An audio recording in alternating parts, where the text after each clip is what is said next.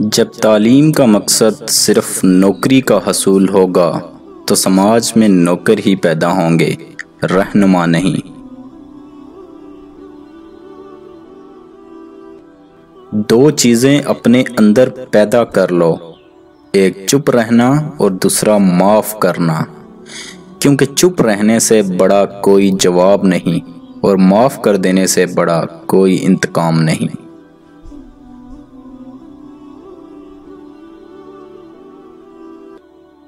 बेवकूफ़ जब तक खामोश रहता है, अक्लमंदों में शुमार होता है। जब आप ये सोचेंगे कि अगर हम हार गए तो क्या करेंगे तो समझ लीजिए आप शिकस्त खा चुके हैं।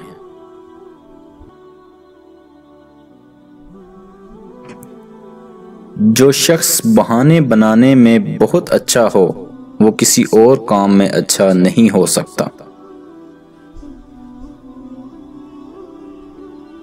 अगर आप खुश होना चाहते हैं तो तारीफ़ सुनिए, और अगर आप बेहतर होना चाहते हैं तो तनकीद सुनिए।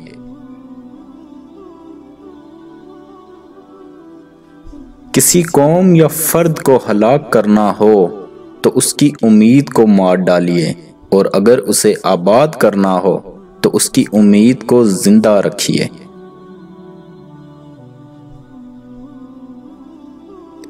ज़िंदगी की दौड़ में दूसरों से आगे निकलने के लिए तेज चलना ज़रूरी नहीं, बल्कि हर रुकावट के बावजूद चलते रहना और मुसलसल चलते रहना ज़रूरी है।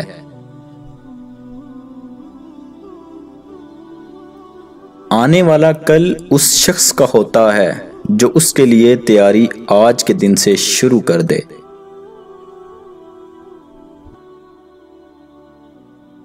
ख्वाब वो नहीं होते जो आप नींद में देखा करते हैं, बल्कि ख्वाब वो होते हैं जिनके लिए आप नींद कुर्बान कर देते हैं।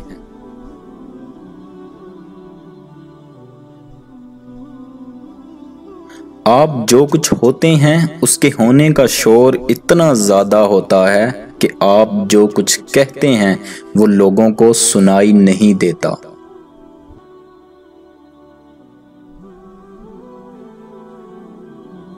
बेहतरीन इंसान कौन है? इसका फैसला बदतरीन हालात करते हैं। इसीलिए बेहतरीन लोग बदतरीन हालात में घबराया नहीं करते।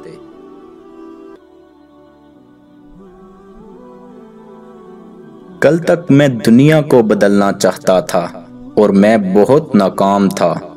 आज मैं खुद को बदल रहा हूँ और यकीन माने मैं बहुत कामयाब हूँ।